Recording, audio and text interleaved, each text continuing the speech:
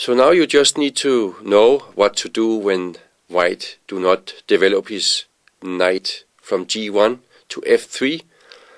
And let's look into this. We have d4, d5, c4, c6, the Slav, and now not knight f3 but knight c3, and then we are into the exchange variation of the Slav.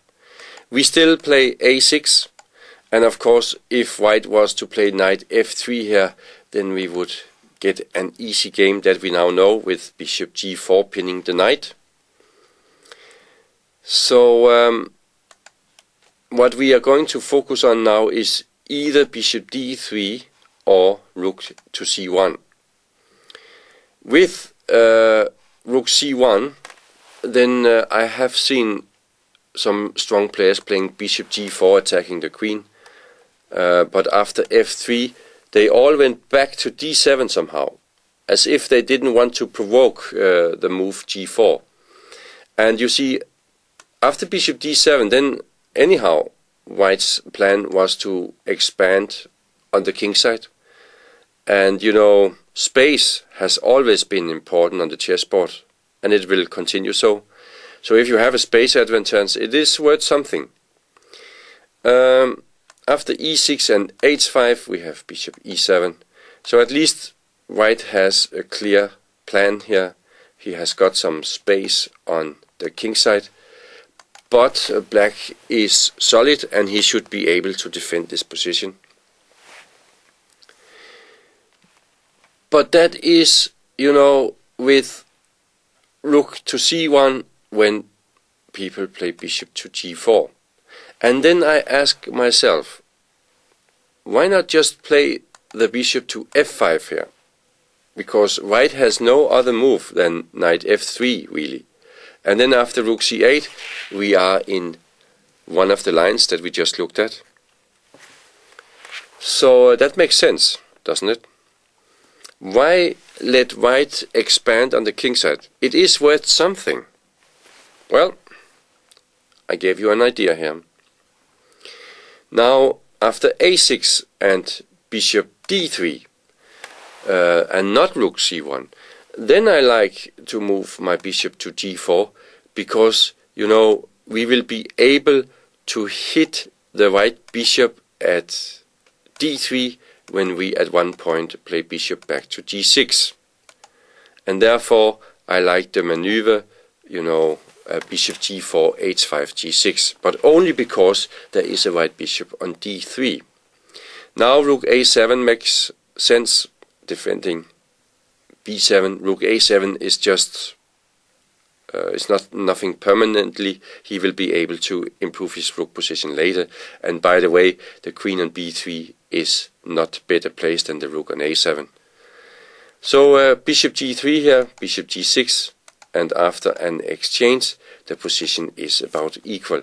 But white must be careful not to play the position a bit too hard, because if he was going to play e4 here instead of knight f4, then he might face small problems. Computers say small advantage for black. So uh, that is with the bishop on d3. Then we play bishop g4. We now looked at f3. Let's look at knight g e2 instead. And then after e6 and castle short, it is very important that you remember to play bishop d6. And if you have noticed it, then I have always suggested bishop d6 uh, in this DVD when you have the choice between bishop e7 and bishop d6 and only also to let you know that bishop d6 here is important. If you play bishop e7 then you might face some problems. I'm not going into further details, I just tell you how things are. Then after f3 and bishop to h5 we have rook c1. In another game, you know, was tried bishop captures d6, but black is totally safe and he doesn't have to fear any exchange on g6 because uh, he will be totally fine. And one of the problems for white uh, with f3 e3 is that he has weakened uh, e3 square, and uh, that will always give black some contours uh, possibilities with e5. And if white prevents it with f4, then of course he has weakened the square e4. And this can never be to white's uh, advantage. So uh, here black is totally fine. If instead knight a to c5, then uh, of course black can just capture on d5 with d3 with an equal game. So after knight d to c5, there is one old variation running like this, and black gets an equal game, get his pawn back on a2 and an equal game. And what more can we expect? As black in the Slav defense. So uh, bishop h5, rook c1, we have bishop g6, and after knight a4 we just capture on d3 and when he captures on d6 we should be totally fine. Don't forget that we also have the c4 square to our possibility and also the maneuver knight c4 to d6 is a strong maneuver and you will see it again and again. This knight is strong placed there. Here black is totally satisfactory.